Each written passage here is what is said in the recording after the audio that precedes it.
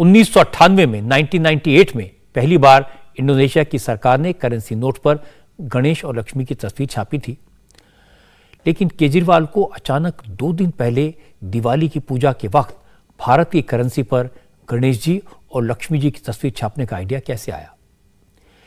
इसका जवाब दिया बीजेपी के प्रवक्ता संबित पात्रा ने। संबित पात्रा इल्ज़ाम लगाया कि सब वोट का चक्कर है। वरना यही केजरीवाल है जिन्होंने राम मंदिर के निर्माण का विरोध किया था।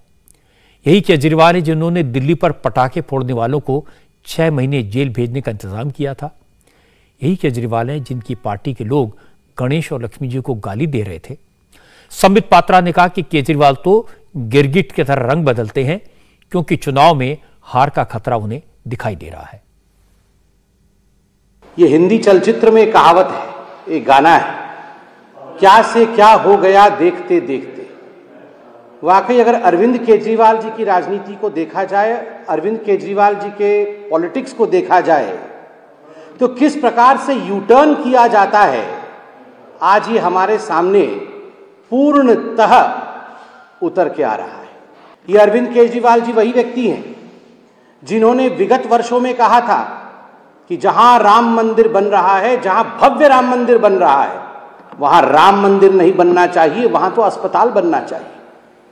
अरविंद केजरीवाल जी की वो वीडियो भी है, जनता उस वीडियो को देखे जिसमें केजरीवाल जी कह रहे थे कि मैं तो किसी भी कीमत पे उस राम मंदिर में आराधना करने, पूजा करने नहीं जाऊँगा, क्योंकि उस राम मंदिर में पूजा जो है वो भगवान प्राप्त नहीं करेंगे, भगवान स्वीकार नहीं करेंगे। आप देखिए, वही अरविंद केजरीवाल जी आज भक्त बनने की कोशिश कर रहे हैं।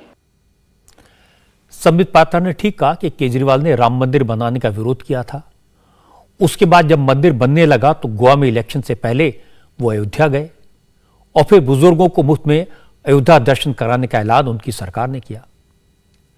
आज बीजेपी ने याद दिलाया कि केजरीवाल ने कई मौकों पर राम मंदिर का विरोध किया। एक बार नानी का हवाला देकर कहा कि मस्जिद तोड़कर जो मंदिर बन रहा है, उसमें राम नहीं रह सकते।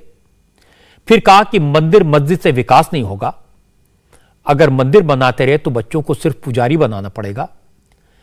यह बात केजरीवाल ने उस वक्त कही थी जब राम मंदिर का फैसला कोर्ट से आने वाला था और केजरीवाल दिल्ली में सिग्नेचर ब्रिज का उद्घाटन कर रहे थे।